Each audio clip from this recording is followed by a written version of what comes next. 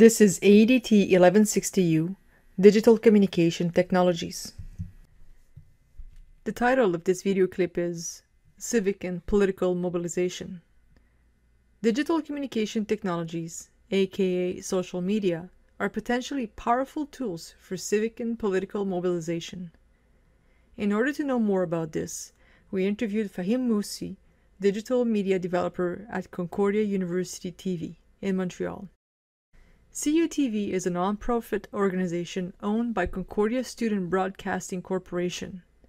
It is a community TV and video production studio that provides facilities, equipment, and training to people who want to learn how to do video production. You can learn more about CUTV on their website. The analysis questions for this video clip are as follows. Can you describe what the role of CUTV is? How does CUTV manage and leverage social media outlets to communicate with supporters on the web? Can you provide your perspective on the power of social media for civic and political mobilization?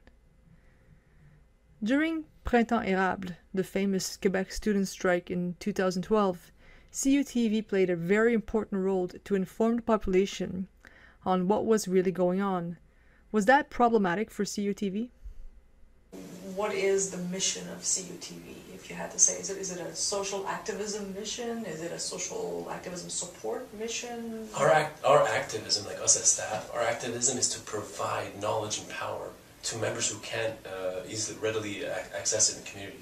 So for $20 a year, a member who is not a, a non-undergraduate student member who doesn't pay tuition fees can access uh, curriculum and equipment that is vastly vastly beyond their, their own budgets uh, oftentimes and uh, we're, we're there to support that learning endeavor and to, uh, uh, to facilitate any of the productions that members are trying to engage in.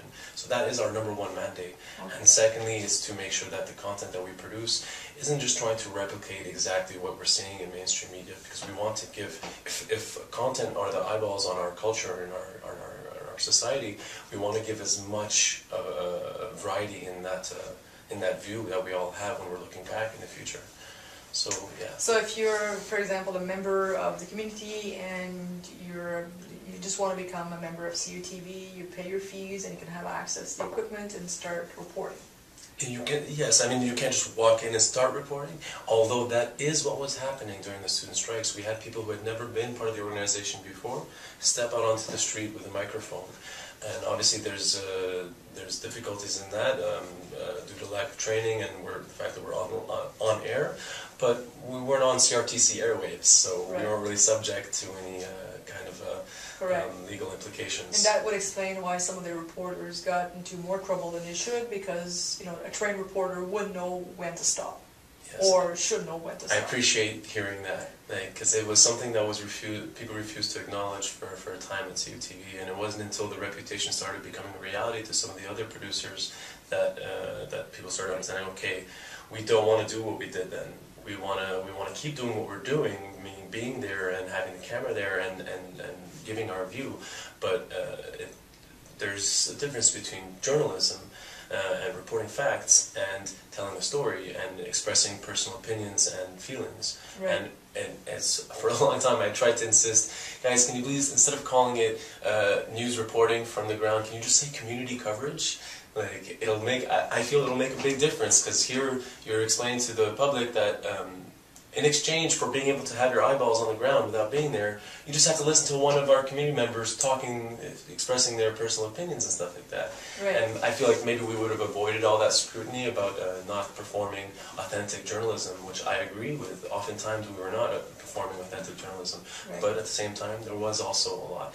And the overall, the most important thing that I feel that came out of that was just those images getting on people's screens. Like that was essential, and also just to be able to witness how long these students, the numbers of people that are out there, and to remind people that maybe you're not seeing it every day on the news or, or seeing a lot of it on the news, but there's a lot of it happening right outside your door.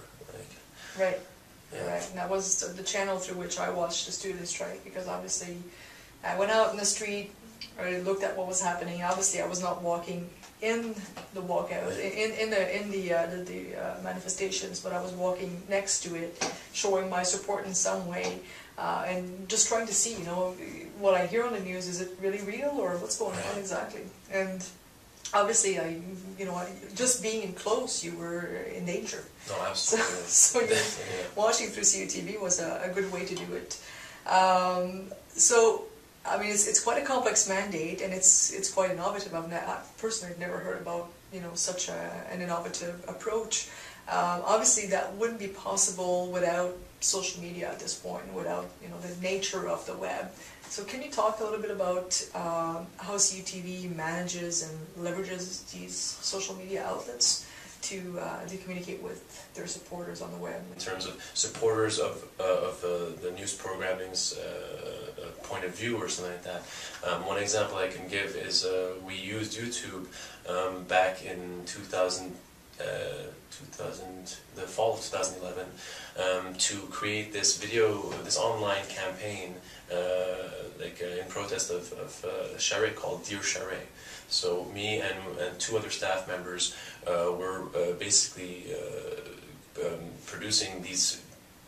we produced uh, the the two staff members edited and filmed a hundred uh, over a hundred videos, a hundred vox pops, meaning like people on the street just uh, being asked a question and responding to the camera, and we were editing them out and sending them out that day and sending uh, uh, mass emails to like. Um, uh, and I encourage people to send mass emails to these political offices uh, with links to these videos. And in these videos were the community actually just saying in, in with short 30 second segments saying uh, a question uh, or answering a question or expressing a sentiment. And it actually got quite a bit of traction and, and got one of those uh, most viewed things on youtube for that month or something. Um, but uh, it was the first time where we uh, had a campaign online to try and achieve something because it's very different to have just a campaign with a goal that you're trying to achieve Or raising Right. awareness, or, you know, Exactly. yeah. There, there's a specific goal which you can develop uh, tools to try and measure uh, versus just general distribution of our content. So that's that brings me back to my first point like, with with regards to tech, uh, like just the technical distribution aspect. We uh, like uh, we leverage social media tools to have our content appear in as many places as possible. Um, but um, I wasn't sure if your question was more asking, well, how did these tools uh, get used for political mobilization? Right.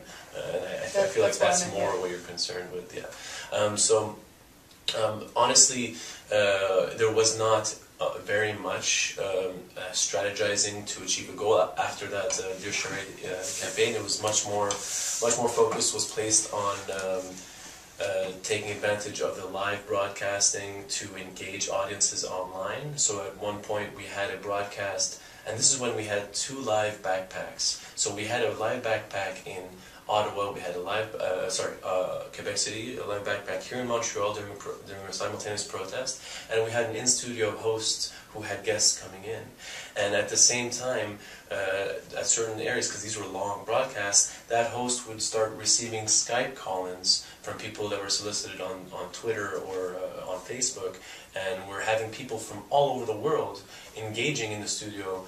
Uh, and a studio, I mean, uh, the size of this room, and uh, when I say studio, I'm using that word very liberally. Uh, it was very, very not much, not at all a studio, more a desk and a background rather.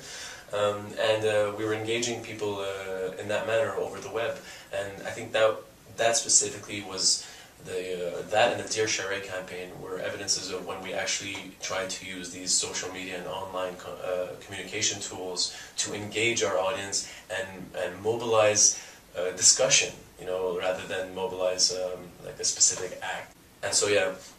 Um, other than that, uh, like the likes, uh, all those Facebook likes and stuff like that, they came from the standard, um, just you know, having the, the buttons and the calls to action uh, appearing on our website and in uh, in tweets and stuff like that. But mostly it came from people just uh, watching the feeds and starting to share online. Like we got a good nine thousand likes purely from the people that were watching the, the protests Right. and uh, and the same same goes with the donations. Uh, it was from from uh, the t- uh, title text callouts that were coming out on there. Uh, at one point, we were we were using social uh, Twitter, for example, to also help facilitate um, one of the production processes in order to be able to uh, to garner our audience, and that's first of all to let people know when a broadcast is happening. At that time, there was there was not enough time uh, during that uh, during those days. There wasn't enough time to uh, develop um, the, the website to automatically notify people that this broadcast was going to be available in 10 minutes. You know, I could do it, but it might take me a few days, and we didn't have a few days back then. So uh, rather, rather than relying on the website, we said, okay, we'll create a Twitter account that simply that only represents when a broadcast is on and when a broadcast is ended and when a video is available to be watched and shared. Okay. So that was part of the post-production and distribution process. Uh, when the video, once the uh, once the broadcast went live, uh, or just before the broadcast was live, that Twitter account would tweet that. It would never tweet anything editorial or personal or conversational. So you were informing people of availability of Exactly. broadcasts, and you were getting from the discussions of the reactions through, for example, the Facebook, uh, the Facebook platform. Exactly, exactly, and um, and for I found Twitter to be actually a more uh, effective way of people getting receiving notifications than even the something provided that we could have provided on the website. Simply because you can have um, cell phone uh, text messages sent to your Twitter uh, from your Twitter account. Right. So looking back at the whole experience, if you had a bit more uh, time to plan, you would have probably prepared the reporters differently, uh, leveraged the organization of the social media usage so that some someone could keep keep track of it Absolutely. more efficiently. Yeah. And uh, in the end, um, if, this was to come back again, this event, and probably it never will, Mm-hmm. but if you know something like that was to occur again, what would be the first thing you would do? Oh, definitely the Dear Charest thing again. Like that thing was was fantastic. It was really easy, and it's impressive when people see like 50 videos uh, of all actually varying uh, messages, but from people. like, Right. From people that are clearly not part of the organization that's giving you the content, um, and and uh, saying saying things that like basically taking a stand and not being afraid to have their image recorded and distributed to the entire World Wide Web, and uh, and if you're if we're talking about social media, I, those videos were very social, you know, like uh, as, as, a, as a media object compared Right. to uh, even a Twitter uh, tweet, you know, like, which is a message rather than uh, than than a. I I see it more as a, a communication tool rather than a medium to digest content. Uh, although that definitely happens on there, so it's more of a notification platform and an information uh, providing uh, tool than uh, than actually. Um, uh, having something that you're going to uh, yeah, digest, engage in, you know, like uh, Indeed. yeah. Well, that was quite the run around CTV. I'm sorry, I, like, I, okay. I wish I could be more precise and like uh, and, and, and Well, obviously you're like describing a, you know, a dynamic organization and a messy way of working, but at the same time, a very efficient way of working because Yeah. it gets the message across. Absolutely. So, folks, that was Fahim Musi and Anne Louise Davidson. Cheers. By the way, please, everyone can live broadcast. It's really not difficult. Just search some videos on the web, send me an email at fahim.musi@gmail.com, and I'll help you with in any way possible. The important thing is that everyone understands they can take part in media, they can produce media, and this is the new generation. This is how we're going to survive. Good enough is the new great. The synthesis questions for this video clip are as follows. What is the mission of CUTV? Do you think CUTV gives a credible message? And what is the takeaway of the interview with Fahim Moussi?